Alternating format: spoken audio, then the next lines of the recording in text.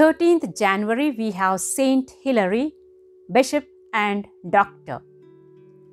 Hilary was born to pagan parents of Poitiers, France, in 315. After training in the classics and philosophy, Hilary married. He and his wife had one daughter, Afra. All who knew Hilary said he was a friendly, charitable, gentle man. Hilary's studies led him to read scripture.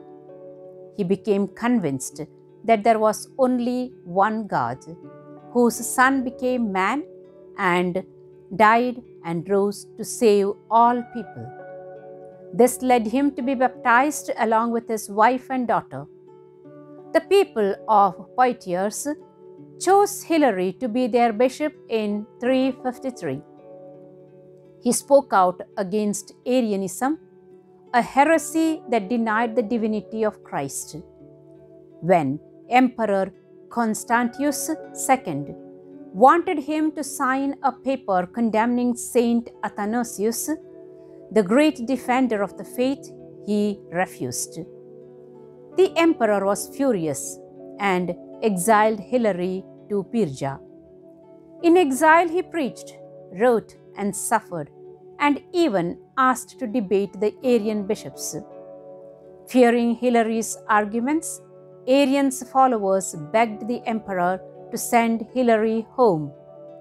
The emperor, believing Hilary was also undermining his authority, recalled him.